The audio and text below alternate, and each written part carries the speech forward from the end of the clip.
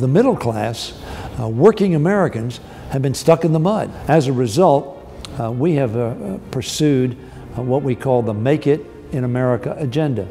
And everybody knows what make it means succeed, win. Uh, and it also means make it in America, manufacture it, grow it, and sell it around the world and here at home, creating that environment uh, that will give the working men and women of this country the kind of good jobs with good pay and good benefits we want them to have.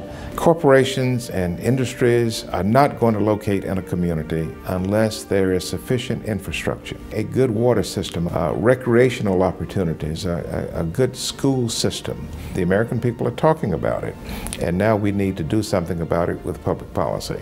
In the young people in our country, we have great ability, and what we need to do is invest in their education uh, and science, uh, technology, engineering, math. These are critical skill areas, both for our economic prosperity, but also for national security. You need technicians, you need people who can operate computers, you need math science backgrounds, you need to have people that are in the STEM industries. I think we need to make more investments to help us build up and recreate that base. The priority investments in the Make It in America agenda are in uh, innovation, research and development, particularly along the lines of energy needs, and um, definitely having the solid education base so that they have have the skilled workers that they're going to need uh, for these manufacturing jobs. American competitiveness depends upon the world perceiving that we continue to lead in innovation and in the quality of the products that we manufacture here.